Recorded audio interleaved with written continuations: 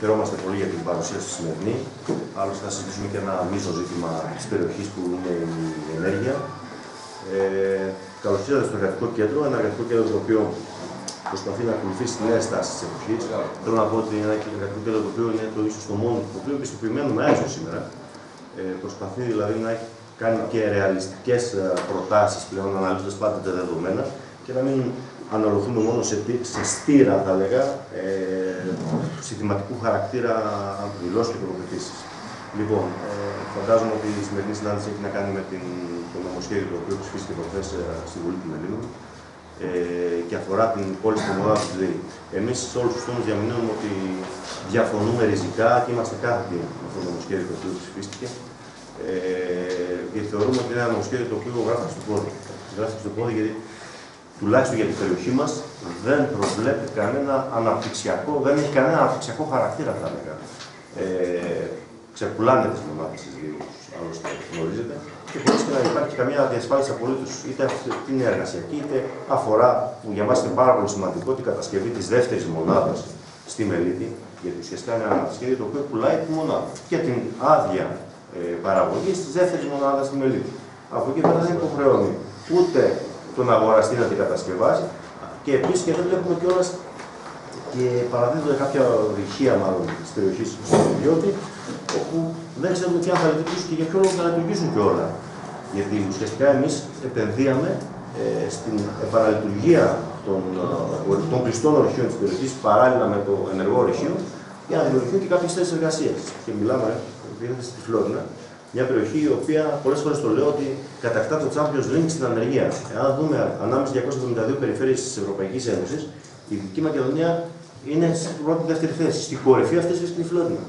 Εκεί που η ενέργεια για μας είναι ένα ε, αναπτυξιακό, θα έλεγα, έτσι, μπορεί να δημιουργήσει ανάπτυξη, βλέπουμε ότι και αυτή τη δυναμική που είχαμε την χάνουμε σήμερα. Δυστυχώς αυτή είναι η πραγματικότητα. Ε, Εμείς κα, καταθέσαμε και τις απόψεις μας τις προάλλες στην ε, Διακή Επιτροπή Παραγωγής και Εμπορίου στην Βουλή. Δηλώσαμε ότι διαφωνούμε. Βέβαια και στην απευθεία περίπτωση, που ήδη απευθεία περίπτωση ψήφισης, ζητήσαμε και 5 πράγμα, 7 πράγματα για τον νομό. Έτσι. Το να περάσουν μέσα στην, ε, στο νομοσχέδιο αυτό.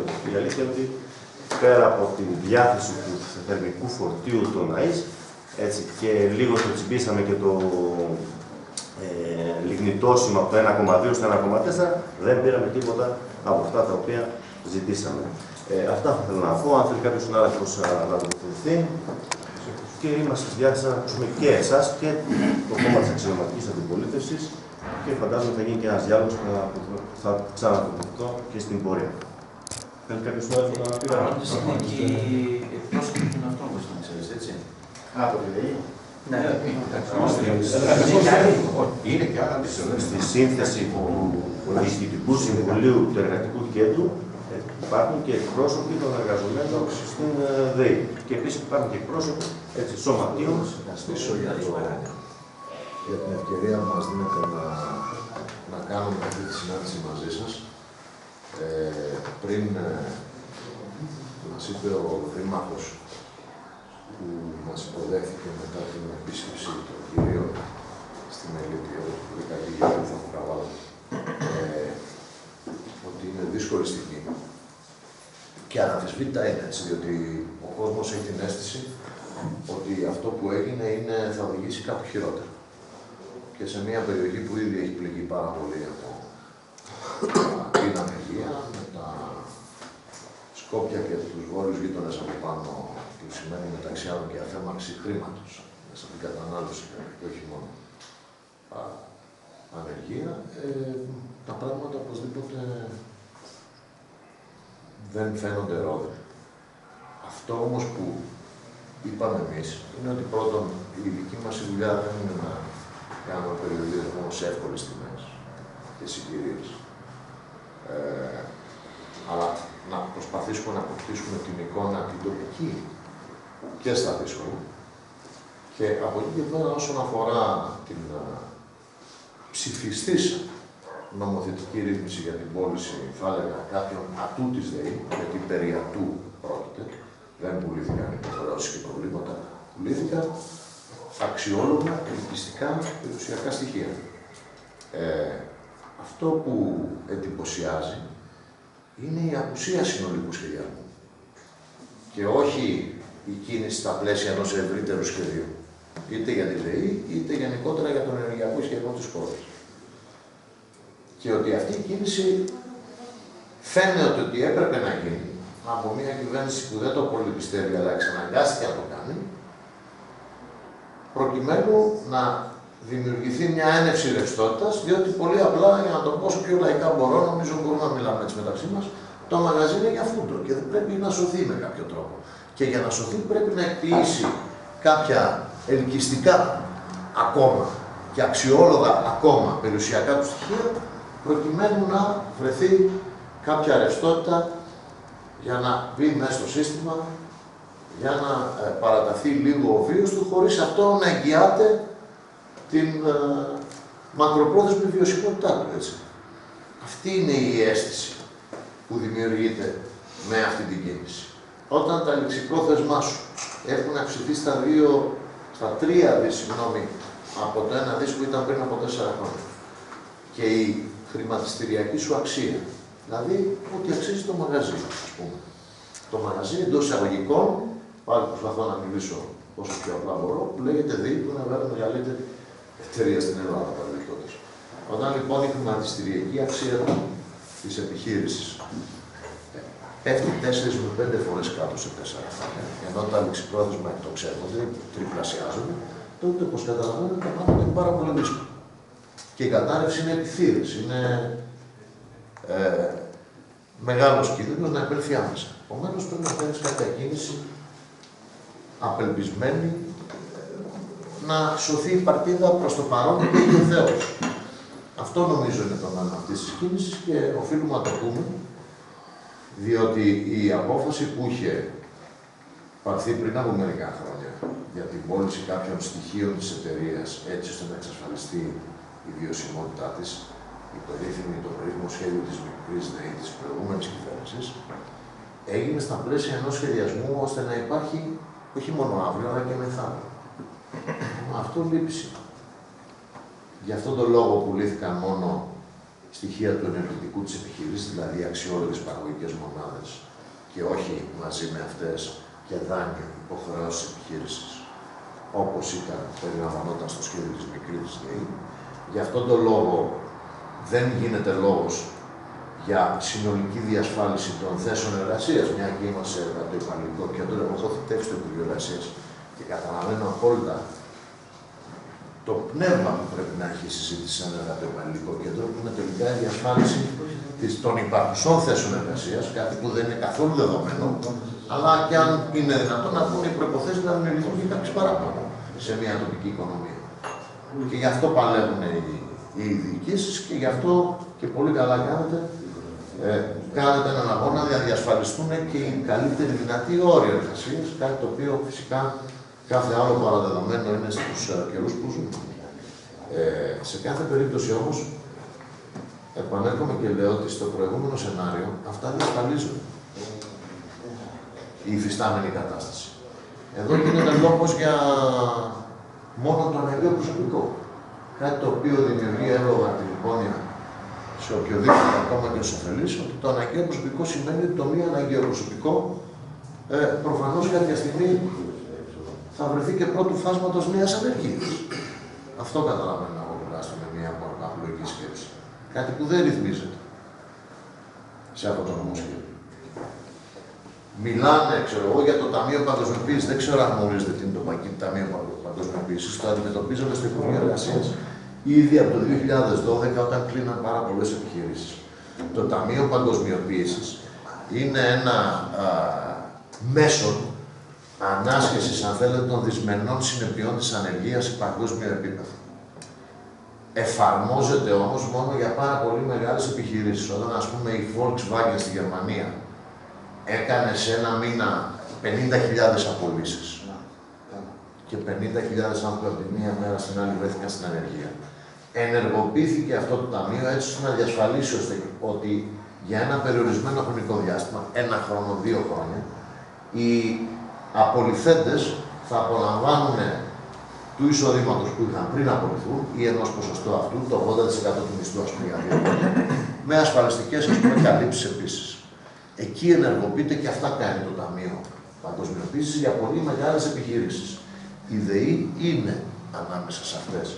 Αλλά πραγματικά δεν είναι αισιόδοξος σχεδιασμός για το μέλλον να προβλέπεις ασπιρίνες όταν θα υπάρχει μεγαλύτερη ανεργία.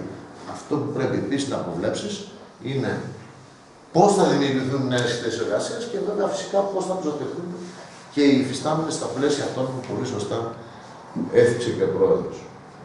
Επομένως, πρώτον πρέπει, έπρεπε να έχει υπάρξει ένας συνολικός σχεδιασμός για τη βιωσιμότητα της επιχείρησης. Εφόσον η ΔΕΗ έχει περιουσιακά στοιχεία, εκεί απάνω πρέπει να χαραχθεί το σχέδιο βιωσιμότητάς της. Ακούω για μελλοντική πώληση των υδροελεκτρικών, γιατί δεν μπορούν, λέει, να πουληθούν ελληνικές μονάδες χωρίς τα υδροελεκτρικά. Ε, για μένα αυτό πρέπει να εξασφαλιστεί ότι δεν θα γίνει. Τα υδροελεκτρικά είναι, τα υδροελεκτρικά είναι επίσης ελκυστικά περιουσιακά στοιχεία της εταιρείας.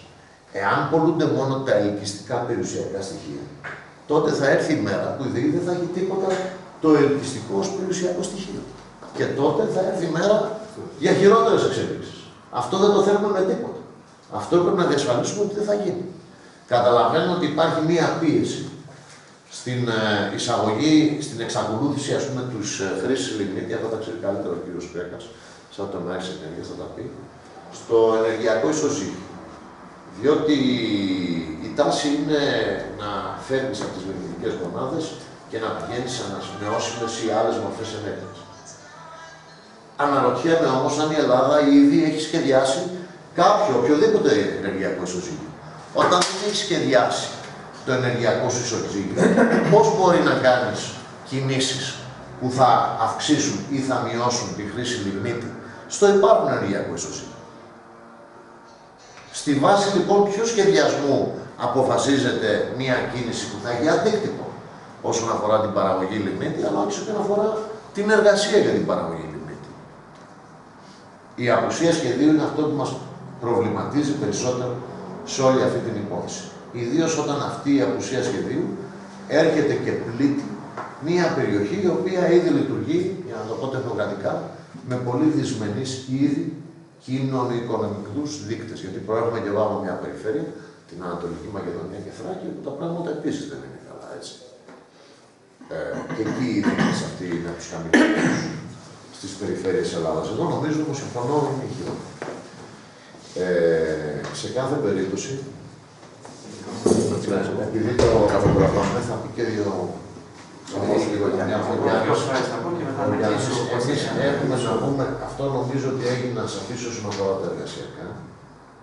Ε, και από εκεί και πέρα η μόνη δέσμευση που νομίζω μπορεί να αναλυθεί τώρα είναι ότι χρειάζεται ένα σχέδιο για να στηθεί στα πόδια της ιδέη και όχι να σιγάζει να αναγκάζεται κάθε τρεις και λίγο να ξεπουλάει έτσι, ελκυστικά περιουσιακά στοιχεία για να επιβιώσει για ένα μικρό χρονικό διάστημα μέχρι να ξαναφανεί μπροστά στο μέλλον το ίδιο πρόβλημα. Και αυτό το σχέδιο αυτής της στιγμή δεν υπάρχει. Έτσι. Σήμερα ο λόγος ανήκει στους δύο συναδέλφους. Εγώ δύο φράσεις θα πω. Καταρχάς θέλω να συγχαρώ τον πρόεδρο γιατί ήταν κάτω στη σύσκεψη των φορέων, έκανε 1100 χιλιόμετρα είχε κρυστάλλινες θέσεις, δεν είχε αποκλίνει ούτε κατελάχιστον σε αυτά που εγχείρησε και πριν έρθει κάτω στη συνάντηση. Ε, το συγχαίρω λοιπόν που ήταν κάτω και υπήρχε η φωνή της Φλόριδας με τις θέσεις πλην όλων των υπολείπων. Δύο φράσεις. Όσον αφορά τους εργαζόμενους της ΔΕΗ, και ο ίδιος ο πρόεδρος, ο κ. Μητσοτάκης και η Νέα Δημοκρατία στηρίζει τους εργαζόμενους της ΔΕΗ και στηρίζει και τους εργαζόμενους της Μελίτης σε όλα τα στάδια που θα επακολουθήσουν, γιατί για μας δεν νοείται εργοστάσιο χωρίς τον εργαζόμενο. Είναι απαράδεκτο. Δεν μπορεί να λειτουργήσουν αυτοί οι τύχοι αν δεν υπάρχουν εργαζόμενοι.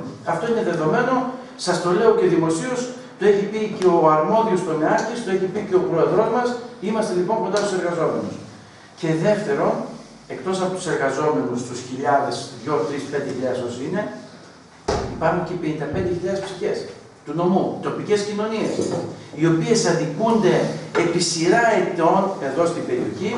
Είμαστε η Λατινική Αμερική της Ελλάδος, Έχουμε ένα πλούτο 30 δισεκατομμυρίων και είμαστε όλοι φτωχοί.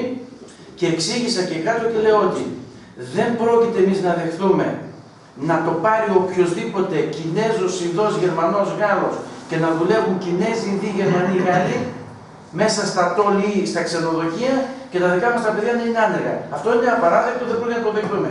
Γιατί δεν μιλάμε για ένα σούπερ μάρκετ ή ένα παπουτσάδικο που θα τα ανοίξει ένας επιχειρηματίας και έχει δικαίωμα να πάρει όποιον θέλει. Εκεί δεν μπορούμε να του πούμε τίποτα. Αυτός που θα το πάρει διαχειρίζεται τοπικό πλούτο που έχουμε κάτω από τα πόδια. Σε αυτό το πλούτο έχουμε μετοχές και άρα έχουμε και λόγο στο ποιος θα δουλέψει. Εδώ θα είμαστε ξεκάθαροι και αυτό πρέπει να το συνειδητοποιήσει ο κάθε φλωριώτης. Το καταλαβαίνετε νομίζω συνάδελφοι, έτσι; Δεν μιλάμε για μια οποιοδήποτε επιχείρηση. Αν ήταν μια οποιοδήποτε, ο καθένας κάνει καφετέρια και παίρνει όποιο θέλει. Άρα λοιπόν, λόγω στο θέμα των ανέργων και βέβαια λόγω στα αντισταθμιστικά που δικαιούνται αυτοί οι κάτοικοι, γιατί έχουμε χάσει δεκάδες υπερκατομμύρια από το ΕΣΠΑ, από τις θέσεις ανεργίας, από τα αναπτυξιακά, από τα αγροτικά, από το εξοικονομώ κατοίκων. Τι να πρωτοαναφέρω. Μόνο κάνουμε από τη μία επιδότηση ο Αθηναίος υπερδιπλασιάζει την κιλοβατόρα στην Αθήνα και ο Αθηναίος την πληρώνει στο Φλωρινιώτη. Και το τόνισα και κάτω. Δεν κρυβόμαστε για αυτά τα εργοστάσια. Α τα πάρουν στο κολονάκι, ας παράξουν ρεύμα και ας μας αφήσουν να αναπτύξουμε τον τουρισμό και την αγροτική οικονομία και να πληρώνουμε το ίδιο ρεύμα. Έτσι, εάν δεν μας τα δώσουν, δεν τα θέλουν. Και το δεύτερο είναι το αντισταθμιστικό, το δωρεάν ηλεκτρικό ρεύμα σε ένα σημείο και από εκεί και πέρα να πληρώνουμε όπως όλοι. Και στο θέμα των αντισταθμιστικών της τοπικής κοινωνίας έχουμε τη συμπαράσταση, χωρίς να έχουμε μπει σε εξειδίκευση, προσωπικά του Πρόεδρου και της Νέας Δημοκρατίας. Αυτά τα δύο σημαντικά που σας ενδιαφέρουν και δίνω τον λόγο στον Κώστα, ήμουν σύντομα. Αντισταθμιστικά σε ποια πλαίσια της ψήφισης αυτού ή γενικά; Γενικά έπρεπε ήδη, Νίκο μου, έπρεπε ήδη και έχουν γίνει κάποιες βελτιώσεις. Καταρχάς, βάζουμε τον τοπικό πόρο με 1,2 που χάνουμε περίπου 20 με 30%. Ναι, τα ξέρω. Τι να μην τα πούμε, ας τα πει ο Κώστα. Εγώ ήδη είχα τελειώσει. Πολύ σύντομα. Ακούσατε. Στην πλάτη της ΔΕΗ, των εργαζομένων της ΔΕΗ και των τοπικών κοινωνιών, χτίστηκαν πολιτικές καριέρες. Αυτή είναι η πραγματικότητα. Και σήμερα πληρώνουμε το τίμημα της διάψευσης των υποσχέσεων. Αυτή είναι η πραγματικότητα. Ποιο είναι το πρόβλημα σήμερα; Ανάπτυξη στη χώρα χωρίς ενέργεια, προσιτή και με ασφάλεια εφοδιασμού δεν μπορεί να υπάρχει. Σήμερα αυτό το πράγμα διακινδυνεύεται. Το μέλλον του ενεργειακού τομέα της χώρας είναι δυσίων. Και γιατί είναι δυσίων. Ήσουν πρόεδρε στην Επιτροπή, όπου κάνοντα συγκεκριμένη ερώτηση, βγήκε ο πρόεδρος της ΔΕΗ και ο Διευθύνων Σύμβουλος και είπε ότι τα αποτελέσματα της ΔΕΗ, χωρίς να συμπεριληφθούν τα οίκο, θα είναι πάρα πολύ καλά το 2017. Και νύχτα Παρασκευή βγήκαν τα αποτελέσματα, νύχτα Παρασκευή τα αποτελέσματα ΔΕΗ. Τα οποία τι δείχνουν, ότι αν βγάλουμε έξω τα οίκο των προηγούμενων χρονιών, όχι της χρονιάς του 2017, η ΔΕΗ μπήκε 300 εκατομμύρια μέσα. Και δεν μπήκε μέσα επειδή πούλησε τον ΑΔΜΙΕ και επειδή πούλησε και επειδή πήρε τα οίκο των προηγούμενων χρόνων. Αυτά το χρόνο δεν υπάρχουν. Άρα η ΔΕΗ, αν δεν πουλήσει κάτι, θα μπει μέσα το 18. Και αν πουλήσει κάτι από το σχέδιο της κυβέρνησης, το οποίο κατά την άποψή μα είναι εντελώς καταστροφικό, θα σας εξηγήσω γιατί, θα βγει το 18, πάντα στο 19 πια δεν έχει να πουλήσει κάτι άλλο και θα μπορεί να επιβιώσει. Άρα, η διάψευση των προεκλογικών υποσχέσεων, η διάψευση τελικά των πολιτικών υποσχέσεων, πέρα και πάνω από κόμματα, το πληρώνει στο πετσί του τελικά ο ίδιος ο ίδιος. Αυτή είναι η πραγματικότητα. Λοιπόν, γιατί δεν τα είπε πάρα πολύ καλά ο Νίκος, ο αγαπητός συνάδελφος, δεν έχω να πω πάρα πολλά πράγματα. Η ιδέα, αν ισχύει αυτό το σχέδιο, μια εταιρεία η οποία έχει γίνει δυστυχώς αυτά τα τρία χρόνια βαριά προβληματική. Το 2014 έχει λειτουργικό περιθώριο προ-οίκο και προ-προβλέψεων για ασφάλεια 1 δισεκατομμύριο 400 εκατομμύρια. 1 δισεκατομμύριο 400 εκατομμύρια λειτουργικό περιθώριο κέρδους. Η ΔΕΗ το 2017 είχε μόλις 444 εκατομμύρια, ένα δις χαμηλότερα λειτουργικό περιθώριο προ-αποσβέσεων και προ-οίκο. Τι σημαίνει αυτό, μόνο η μισοδοσία της ΔΕΗ είναι 820 εκατομμύρια. Όταν έχεις λειτουργικό περιθώριο 440 εκατομμύρια, καταλαβαίνετε ότι δεν μπορείς ούτε τη μισή μισοδοσία να πληρώσεις. Αυτή είναι η πραγματικότητα της ΔΕΗ σήμερα, τρία χρόνια μετά το 2014. Θέλουμε δεν θέλουμε, αυτή είναι η πραγματικότητα. Πάμε τώρα. Έγιναν πολλά σχέδια κατά το παρελθόν. Και κάποια νομοθετήθηκαν και κάποια έγιναν νόμοι του κράτους.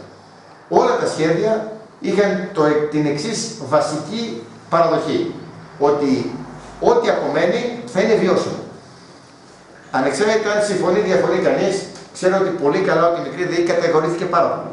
Κατηγορήθηκε, λιδωρήθηκε, συκοφαντήθηκε. Η μικρή ΔΕΗ όμως άφηνε μια ΔΕΗ πίσω με 2 δισεκατομμύρια στα ταμεία της, με ένα δισεκατομμύριο λιγότερα δάνεια, δηλαδή 3 δισεκατομμύρια, και η, η νέα εταιρεία που θα δημιουργούνταν θα ήταν μια εταιρεία η οποία θα, είχε, θα ήταν μεγάλη εταιρεία, μια μεγάλη εταιρεία με 30% προσωπικό, δηλαδή με 2.000-3.000 άτομα προσωπικό, σημαίνει μια εταιρεία όπου μπορείς να διασφαλίσεις εργασιακές συνθήκες. Ένα εργοστάσιο με 200 άτομα προσωπικό, δεν ξέρω πόσο βέβαιο είναι ότι μπορείς να διασφαλίσεις εργασιακές συνθήκες. Και καταλαβαίνετε πολύ καλά τι εννοώ. Και ήταν μια εταιρεία που είχε και πελατολόγιο και θα προχωρούσε και σε επενδύσεις. Και με αυτόν τον τρόπο δημιουργούσες Έλληνες και το πρόβλημα του ανταγωνισμού στην αγορά ενέργειας, του ελεύθερου ανταγωνισμού, με ισχυρές εταιρείες, μεγάλες εταιρείες, όπου θα μπορούσαν τελικά να ανταποκριθούν στα νέα δεδομένα και στη νέα εποχή. Τι σημαίνει, τι έχουμε σήμερα; Σήμερα έχουμε μία ΔΕΗ η οποία καταραίει, πρέπει να το πούμε δυνατά, να το καταλάβει ο κόσμος. Η ΔΕΗ σήμερα είναι υποκατάρρευση. Η ΔΕΗ σήμερα, όπως είπα, δεν μπορεί να πληρώσει ουσιαστικά αν δεν έχει έκτακτα έσοδα ούτε το προσωπικό της, πολύ περισσότερο να λειτουργεί και σίγουρα δεν μπορεί να εξασφαλίσει χαμηλές τιμέ ενέργειας στην ελληνική αγορά. Που αυτό θέλουμε. Ανάπτυξη χωρίς ενέργεια σε προσιτές τιμές και με ασφάλεια εφοδιασμού δεν μπορεί να υπάρχει. Και ενέργεια σε χαμηλές τιμές και ασφάλεια εφοδιασμού χωρίς ισχυρή ΔΕΗ δεν μπορεί να υπάρχει. Άρα ανάπτυξη χωρίς ΔΕΗ δεν μπορεί να υπάρχει. Αυτό είπαμε. Ο κ. Μητσοτάκης είπε πολύ καλά. Εμείς αυτή την επόμενη μέρα κάνουμε το παν να έχουμε μια ισχυρή ΔΕΗ. Αυτό θα προσπαθήσουμε και από την άλλη θα επιδιώξουμε όποιος, αν υπάρξει υποψήφιος αγοραστής για τις νέες μονάδες, να σεβαστεί τα δικαιώματα των εργαζομένων, να σεβαστεί τις καλές συνθήκες εργασίας, να τις βελτιώσει ακόμα περισσότερο. Εγώ δεν λέω ότι οι συνθήκες εργασίας που έχει σήμερα η ΔΕΗ είναι οι καλύτερες. Εγώ δεν πιστεύω, για παράδειγμα, ότι ένας νέος άνθρωπος που μπαίνει σήμερα στη ΔΕΗ αξιολογείται ανάλογα με τη δουλειά του. Δεν πιστεύω ότι υπάρχει αξιοκρατία ανάλογα με αυτό που παρέχει βλέπει δίπλα του κάποιος να προχωράει πιο γρήγορα μόνο και μόνο επειδή έχει μια πολιτική σχέση με κάποια παράταξη, όποια και να είναι αυτή. Βλέπει δίπλα του κάποιος να αμείβεται με τα ίδια που παίρνει αυτός χωρίς να, παράγει, να παράγει το ίδιο έργο με αυτό που παράγει αυτός. Και αυτό το πράγμα δεν είναι καλές ηθικέ εργασίας. Αυτό δεν σημαίνει αξιοκρατία, αυτό δεν είναι δικαιοσύνη. Δεν υπάρχει δικαιοσύνη σήμερα. Αυτά πρέπει να τα βελτιώσουμε. Και εδώ είναι ο ρόλος της πολιτικής την επόμενη μέρα. Και είναι ο ρόλο τη πολιτική να τα διασφαλίσει αυτά όχι μόνο στη ΔΕΗ, όχι μόνο αν υπάρξει κάποια άλλη εταιρεία και κάποιος άλλος επενδυτής της μονάδας της Μελίτη, πρέπει να το διασφαλίσει σε όλη την αγορά, την ιδιωτική αγορά. Που σήμερα επικρατεί αναρχία, απόλυτη αναρχία. Σήμερα που μιλάμε, στην ιδιωτική. Πρόεδρε, το γνωρίζεις πολύ καλά. Επι... Επικρατεί απόλυτη αναρχία. Ούτε στις ίδιε εργασίες υπάρχουν, ούτε η πολιτεία κάνει κανέναν έλεγχο. Δεν ενδιαφέρεται η πολιτεία καθόλου. Και αυτό πρέπει να το αλλάξουμε. Και αυτό είναι κάτι το οποίο διαχρονικά έρχεται για να τα λέμε όλα του. Αλλά τουλάχιστον τώρα πρέπει να τα αλλάξουμε. Δεν μπορώ να συνεχίσει. Εγώ αυτά θέλω να σας πω την επόμενη μέρα. Ισχυρή ΔΕΗ, γιατί χωρίς ισχυρή ΔΕΗ δεν μπορεί να υπάρξει ισχυρή ανάπτυξη, ξεκάθαρα, και θα βρούμε τρόπο να το κάνουμε αυτό το πράγμα. Υπάρχει τρόπος να γίνει αυτό, το πιστεύουμε. Και από την άλλη, από τη, αν τελικά αυτό το σχέδιο το οποίο εμείς καταψηφίσαμε τελικά προχωρήσει, θα φροντίσουμε τουλάχιστον να έχει τα καλύτερα αποτελέσματα για τους εργαζομένους, αλλά και για τους υπόλοιπους Έλληνες πολίτες. Λοιπόν, ε, ευχαριστούμε πολύ για την τοποθέτησή σας. Κλείνοντας, θα ήθελα να πω ότι καταρχάς απευθύνεται σε ανθρώπους οι οποίοι δεν κάνουν αισθητήριο αντιπολίτευσης ή αισθητήριο συνδικαλισμό. Ε, άλλωστε, εμείς, σαν εργατικό κέντρο, είχαμε κάνει την υπέρβασή μας και είχαμε χαιρετήσει άλλωστε, αν θυμάστε καλά, την uh, πρόταση τότε, μάλλον την uh, την υπογραφή μνημονίου μεταξύ της Κινέζικης ΜΕΚ και της ΔΕΗ. Θεωρούσαμε ότι ήταν ένα ε, μνημόνιο που έδινε ένα αναπτυξιακό χαρακτήρα στην περιοχή μας. Άρα, ε, κατανοώντας πάντα και το περιβάλλον που είναι η σήμερα. Πραγματικότητα. Οι συνθήκε οικονομική κατάσταση δεν είναι αυτή, το γνωρίζουμε όλοι. Στόχος είναι να τις σώσουμε και να βάλουμε πράξη σε αυτό. Μπορείς όμως να θυσιάζουμε περιοχές. Δεν θέλω να είμαστε σαφεί. Εδώ διαπιστώνουμε και το είπα και προχθές ξεκάθαρα ότι πλέον έχουμε δύο μέτρα και δύο σταθμά ανάμεσα στους γειτονικούς νόμους. Τώρα γιατί τους συμβαίνει αυτό; Καταλαβαίνετε όλοι ότι η πολιτική επιρροή κάποιων άλλων περιοχών πλην τη είναι πολύ μεγαλύτερη. Ίσως κάτι τέτοιο συνέβη και δεν ακολουθήθηκε αυτό το project. Ξέρετε πολύ καλά και εσείς ο ίδιος ότι το είχε υποστηρίξει, το είχε υποστηρίξει μέχρι τέλος ο κύριος Παναγιωτάκης. Και θυμάμαι τη δήλωσή του ότι η επένδυση της ΜΕΚ στην μελέτη θα γίνει και θα είναι τα άλλα μεσημέρι. Δυστυχώς η κυβέρνηση δεν ακολούθησε αυτό το σχέδιο και μας έφερε ένα κατάπτυστο νομοσχέδιο. Κλείνοντας, θέλω να πω ότι το επόμενο διάστημα, Γιάννη, θα προβούμε, πήραμε απόφαση ω Διοικητικό Συμβούλιο σε μια σύσκεψη του φορέων. Το είπαμε τηλεφωνικά, θα γίνει μέσα στην εβδομάδα την επόμενη.